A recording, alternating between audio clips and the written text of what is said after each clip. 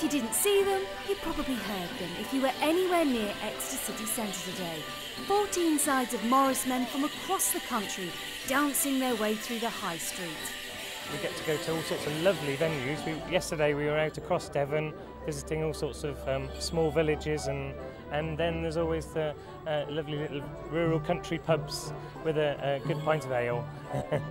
Every team wants to recruit, but it's not primarily what it's about.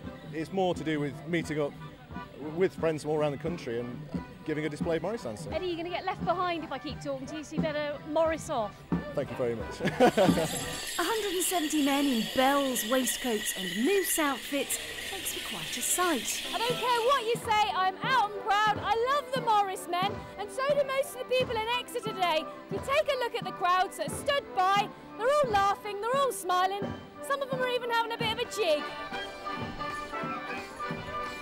And if you're sat at home wondering why these otherwise normal chaps devote their spare time to dancing in public, spare a thought for some of our international visitors in Exeter today and what they made of it all, and in particular, the Morris horses. Also the house, house, the, the, the people in Chinese people, some local people, well, like house like this way. 非常像。 Really like, a little bit like, yeah.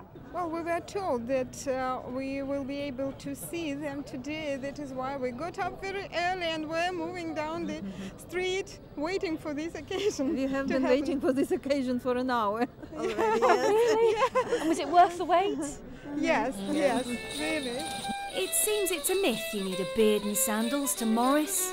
Well, you get to travel around the Morris and see, make new friends that were in the Morris ring.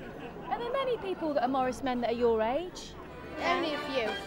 The roots of Morris dancing may be pagan, but these chaps were welcomed into Exeter Cathedral today, perhaps making for one of the most peculiar congregations this building's ever seen. Claire Manning for the West Country Tonight.